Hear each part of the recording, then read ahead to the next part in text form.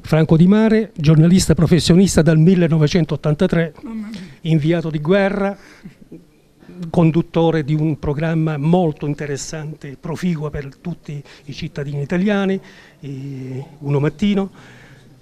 E io voglio partire proprio da inviato di guerra, sei stato in Iraq, in Africa, in America Latina, ma soprattutto sui Balcani.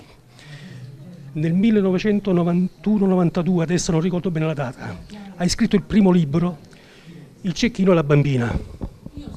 Successivamente hai scritto un altro bellissimo libro, Non chiedimi perché. Voglio intanto partire da questi due libri. Perché quei due libri? Perché quando ero stato in Bosnia ero rimasto colpito da mille storie e non tutte queste storie riuscivano a trovare spazio nei resoconti che io facevo per il telegiornale, per cui molte di queste storie che però meritavano di essere raccontate sono riuscito poi a raccontarle in quei libri. Diciamo che mi posso permettere, con l'amico Franco sono circa dieci anni che ci incrociamo e ci rincorriamo ci siamo incontrati a Brindisi al Teatro Verdi in occasione del testimonial per l'AIL, poi sei stato anche ad Oria, hai scritto tanti libri, non li voglio citare tutti.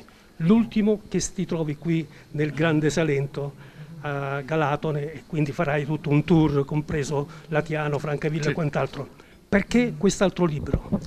Perché io ho fatto una rubrica che ha avuto un grande successo, mio malgrado, che si, chiama, si chiamava Sarò Franco, negli ultimi cinque anni a una mattina e molti mi hanno chiesto ma perché non raccogli i testi, un, almeno i testi più importanti, in un libro? Perché beh, è uno strumento di consultazione anche per gli insegnanti eh, per dare temi in classe, per avviare dibattiti in classe, perché sono tanti sassolini nello stagno che smuovono le acque e ridanno vita a un dibattito che spesso intorno ai grandi temi di attualità e di cronaca che spesso è un po' mortaccino.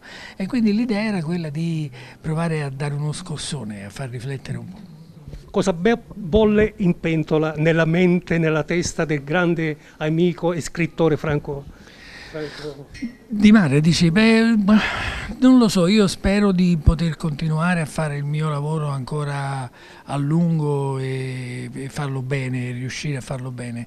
Tu sai bene, Crocifisso, che eh, il giornalista vuole morire sul campo mentre lavora e non vuole mai andare in pensione, ma non perché è attaccata ai soldi, perché poi alla fine chi va in pensione va in pensione e prende la pensione e basta, anche il giornalista che continua a lavorare dopo la pensione fa quello. È semplicemente perché il rapporto con i lettori, i telespettatori è un rapporto così carnale, anche se è distante, che si fa fatica a farne a meno. Lunga vita, lunga vita. Anche a te amico mio. Grazie, altrettanto.